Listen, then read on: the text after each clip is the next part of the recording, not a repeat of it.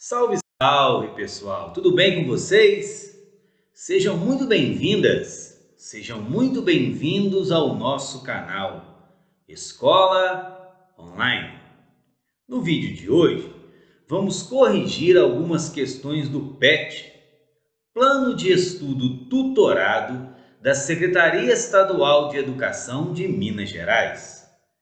Nesse vídeo, vamos corrigir algumas questões do volume 3 da semana 4 do terceiro ano do ensino médio, que trata da equação cartesiana da circunferência.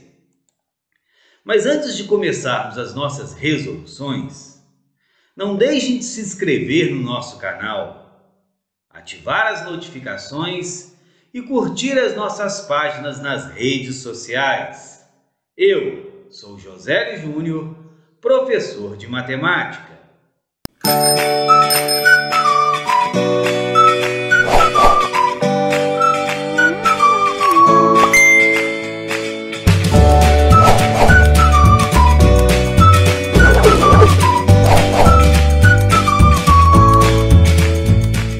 Então vamos lá, pessoal. É, vamos continuar nossa saga, nossa caminhada aí nas correções do PET, ok? Mas antes de começarmos as nossas correções, eu gostaria de deixar o meu agradecimento, as mensagens de carinho, as mensagens de agradecimento do nosso projeto da Escola Online.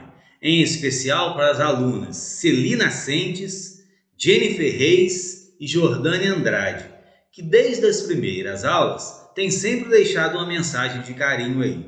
Faça isso também, deixe sua mensagem à sua cidade, que nós iremos, se possível, dizer seu nome e a cidade aqui.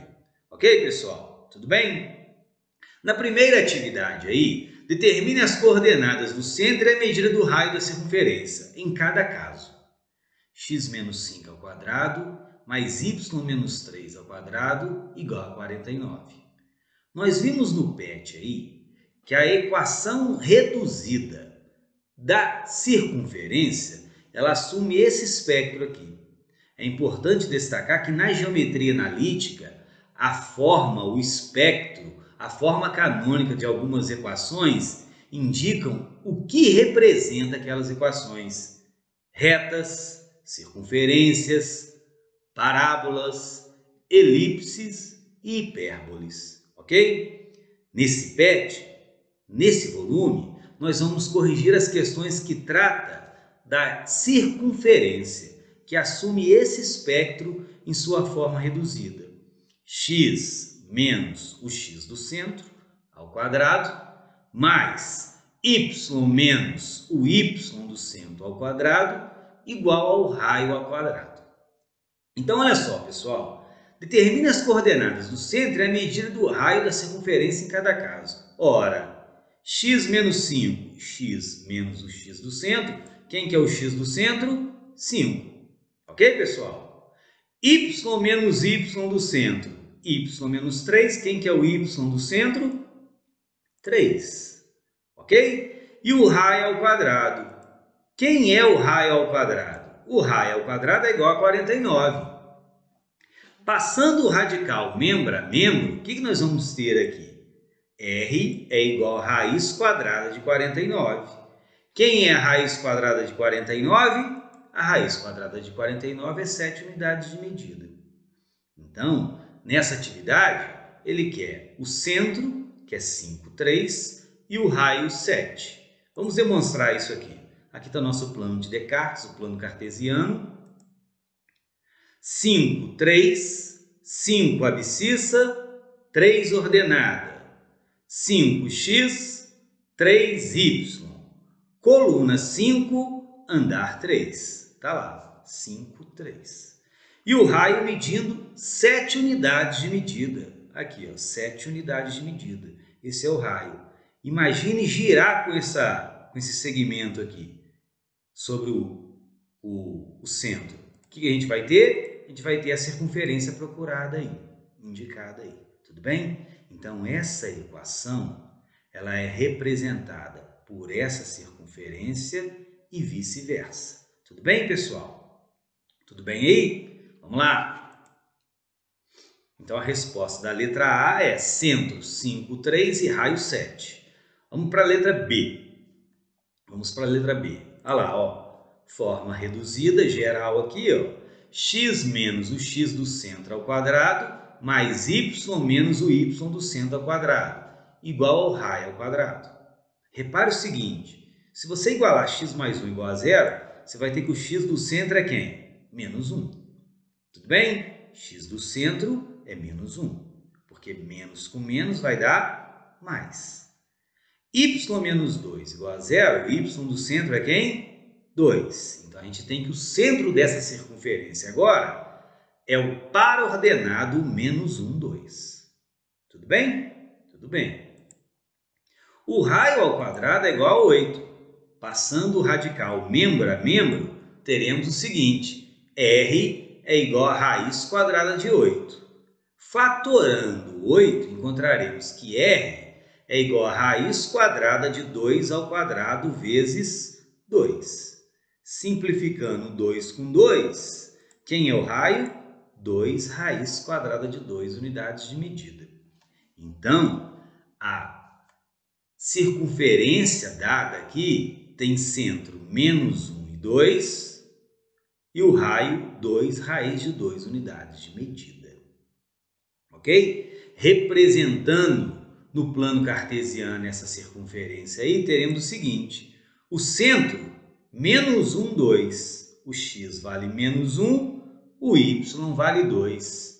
Abscissa menos 1, ordenada 2.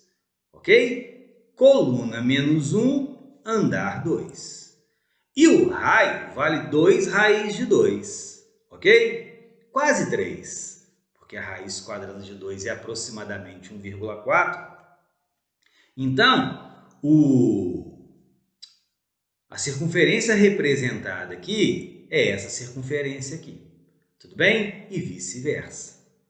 Ok? Essa é a representação geométrica dessa estrutura algébrica aqui. Tudo bem, pessoal? Tudo bem?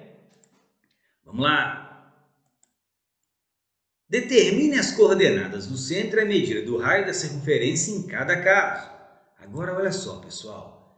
Repare que não existe a parte numérica aqui. Isso indica o quê? Que o x do centro é quem? zero. É como se fosse um x menos zero ao quadrado aqui.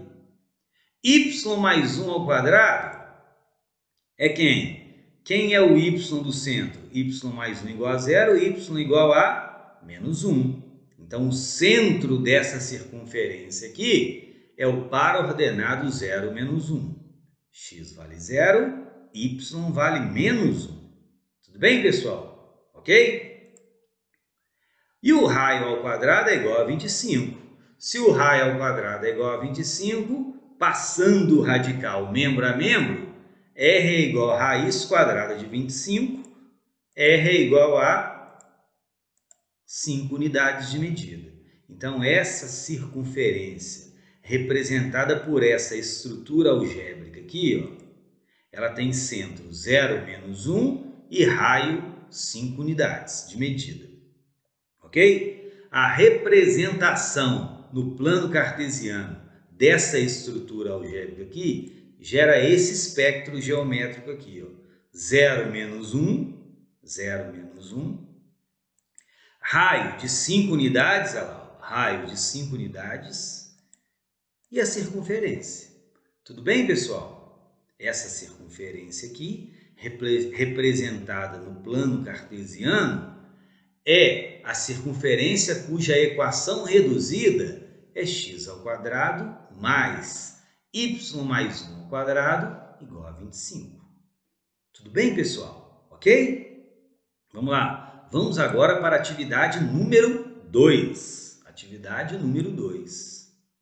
Escreva a equação reduzida da circunferência cujos centros e raios são. Muito simples também, pessoal. O centro é 1, 4. x vale 1, y vale 4. Abscissa 1, ordenada 4. E o raio mede 6. Ora, vamos substituir o x do centro por 1 e o y do centro por 4. E o r por 6. o que, que nós teremos? x menos 1 ao quadrado mais y menos 4 ao quadrado igual a 6 ao quadrado. x menos 1 ao quadrado mais y menos 4 ao quadrado igual a 36. Essa é a equação reduzida da circunferência cujo centro é 1, 4 e o raio é 6. Muito simples, né, pessoal? Na verdade, a geometria analítica é uma tradução o tempo inteiro de valores nas estruturas algébricas, ok? Vamos lá. É x menos x do centro ao quadrado mais y menos y do centro ao quadrado igual a r ao quadrado, ok? Eu quero saber qual é a equação reduzida dessa circunferência quando o x for menos 2 e o y for menos 1. Presta atenção aqui sempre façam primeiro o jogo de sinal. Ó, x menos menos 2 ao quadrado, mais y menos menos 1 ao quadrado, igual a 2 ao quadrado. Menos com menos dá o quê? Mais. Menos com menos dá o quê? Mais. Quem é a equação reduzida da circunferência cujo centro é menos 2 e menos 1? E o raio 2, x mais 2 ao quadrado, mais y mais 1 ao quadrado, igual a 4. Tudo bem? Tá aí a nossa letra B. Vamos para a letra C agora. Escreva a equação reduzida da circunferência cujos centros e raio são 5, 0 e raio raiz de 3. Olha para cá, pessoal x menos o x do centro ao quadrado, mais y menos o y do centro ao quadrado, igual a r ao quadrado. x menos 5 ao quadrado, mais y menos 0 ao quadrado, igual a raiz de 3 ao quadrado. Simplificando o 2 do expoente com 2 do índice, teremos o seguinte, x menos 5 ao quadrado, y menos 0 é y, ao quadrado igual a 3. É a equação reduzida da circunferência que está representada com centro 5, 0 e raio raiz de 3. Ok, pessoal? Vamos agora para a atividade número 3.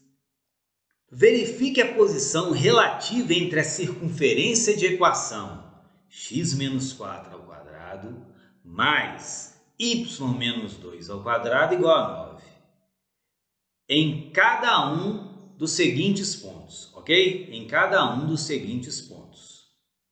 Então, olha só, no primeiro exemplo aí, ele deu o ponto A5, 3. Ele quer saber qual a posição relativa do ponto A à circunferência. É ponto da circunferência? É interna à circunferência? Ou é externa à circunferência? Repara o seguinte, que vamos ilustrar aqui as possíveis situações aqui para que você possa entender o que, que a gente precisa fazer. Aqui tem o plano cartesiano, tem uma circunferência de centro 1, 1 qualquer, raio 4 unidades, eu fiz uma circunferência qualquer aqui, ok? É...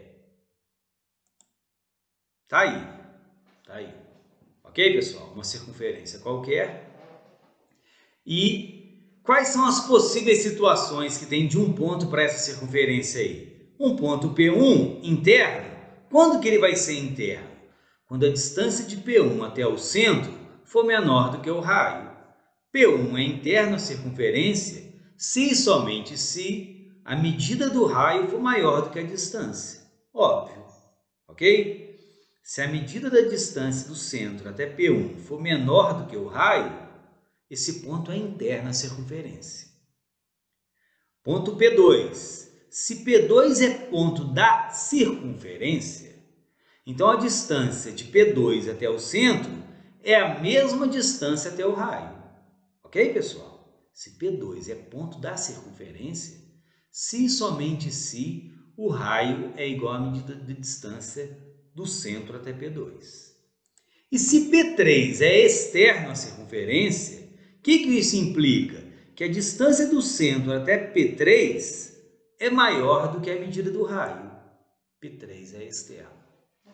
Então, se quisermos determinar a posição relativa de um ponto e uma circunferência, basta, basta medir a distância do ponto até o centro. Se for menor do que o raio, é interno. Se for igual ao raio, é ponto da circunferência. E se for maior do que o raio, é externo à circunferência. Então é isso que nós vamos fazer aqui. Ok? Verifique a posição relativa entre a circunferência de equação x menos 4 ao quadrado mais y menos 2 ao quadrado igual a 9 em cada um dos pontos aqui. Aí o ponto A, 5, 3, ok? Então vamos lá.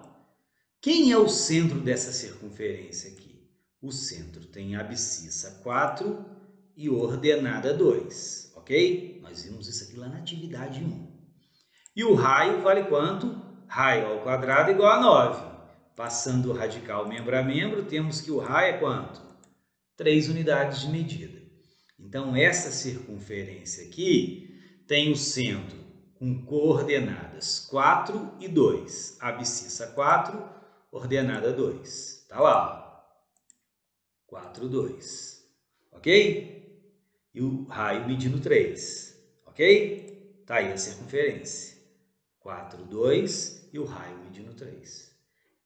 Qual é a posição relativa de A cujas coordenadas é 5, 3, para essa circunferência. Vamos inicialmente calcular a distância de A até o centro, ok? Vamos calcular a distância do ponto A até o centro, sem inserir o A aqui. Vamos fazer isso aqui de forma algébrica primeiro. Tudo bem? Então vamos lá. A distância de A até o ponto, até o centro, vai ser quem? x do centro menos o x do A ao quadrado mais o y do centro menos o y de A ao quadrado. Substituindo, teremos 4 menos 5 ao quadrado, mais 2 menos 3 ao quadrado. A raiz quadrada disso, que é a expressão que nós vimos lá no PET 1. Se tiver dúvida, assistam novamente às aulas do volume 3 da semana 1 do PET, ok? Que lá nós resolvemos os exercícios da distância entre dois pontos. A distância de A até o centro vai ser o quê? Menos 1 ao quadrado mais menos 1 ao quadrado. Menos 1 ao quadrado é 1. Vai ficar a distância de A até o centro é quanto? Raiz de, do, raiz de 2 unidades de medida. Ora, raiz de 2 é menor do que 3. Logo, esse ponto A aqui ele é interno à circunferência. Olha a representação dele lá, 5, 3. Aqui o ponto A. Repare que ele é interno, eu fiz algebricamente primeiro, ok? O que a gente observa geometricamente. Tudo bem aqui? Ok, pessoal? Então, A é um ponto interno à circunferência, ok? Como R, como raio R é maior do que a distância AC, temos que o ponto A é interno à circunferência. Essa é a resposta procurada aí. Letra B. Verifique a posição relativa da mesma circunferência ao ponto B agora, de coordenadas menos 1, 5. A gente vai encontrar o centro e o raio dessa circunferência, que é a mesma do exercício anterior. O x do centro é 4, o y do centro é 2 e o raio é 3, ok? É a mesma do exercício anterior, o raio é 3. Representando a circunferência aqui, nós teremos o quê? Teremos a circunferência, x menos 4 ao quadrado, mais y menos 2 ao quadrado, igual a 9. Tudo bem? Eu quero saber a posição relativa de B a essa circunferência aqui, basta calcular a distância de B ao centro, ok? Calcularemos então a distância de B, menos 1, 5, até o centro, 4, 2. Só substituir aí na distância entre dois pontos. 4 menos menos 1 ao quadrado, mais 2 menos 5 ao quadrado. Tudo bem aí? Tudo bem. 4 menos menos 1 vai ficar 4 mais 1, que dá 5. 5 ao quadrado. 2 menos 5, menos 3 ao quadrado. 5 ao quadrado é 25, menos 3 ao quadrado é 9. 25 mais 9, 34. A distância de B até o centro da circunferência é raiz quadrada de 34, que é quase 6. Logo, a distância de B até o centro é maior do que o raio. Isso implica que B é externo à circunferência. Olha lá onde está B, menos 1, 5, ele é externo. Como o raio é menor do que a distância BC, temos que B é externo à circunferência. Tudo bem, pessoal? Ok? Vamos para a nossa última questão aí de hoje. Aí. Verifique a posição relativa entre a mesma circunferência e o ponto 0,5. Tudo bem, pessoal?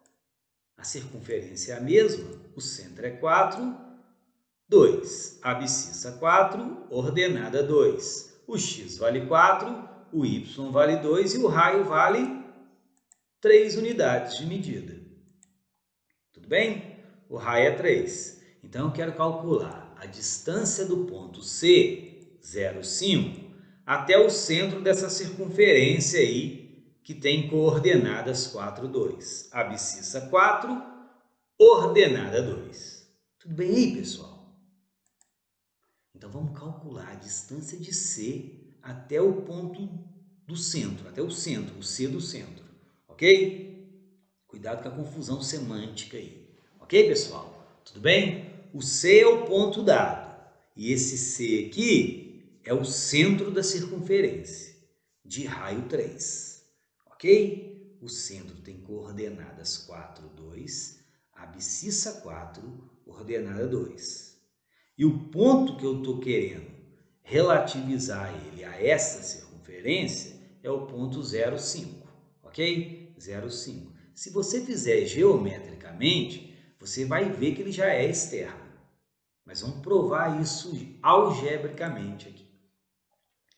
X do centro menos o x de C ao quadrado mais y do centro menos o y de C. Substituindo aí, 4 menos 0 ao quadrado, mais 2 menos 5 ao quadrado. 4 menos 0 é 4 ao quadrado, 4 ao quadrado. 2 menos 5 é menos 3 ao quadrado. 4 ao quadrado, 16. 16 mais menos 3 ao quadrado, 9. Raiz quadrada de 25. A raiz quadrada de 25 é quanto? É 5. Então, quem é, qual é a posição relativa do ponto C em relação a essa circunferência cuja equação é x menos 4 ao quadrado mais y menos 2 ao quadrado igual a 9. Ora, a distância de C até o ponto do centro é 5 unidades de medida.